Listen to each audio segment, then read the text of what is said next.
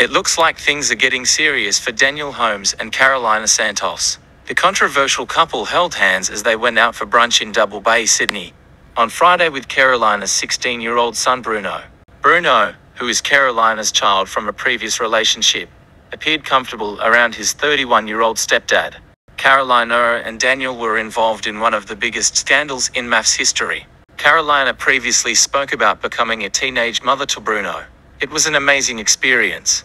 It was hard in the beginning, but now that he's a teenager, we like so many of the same things now because we're so close in age, she said.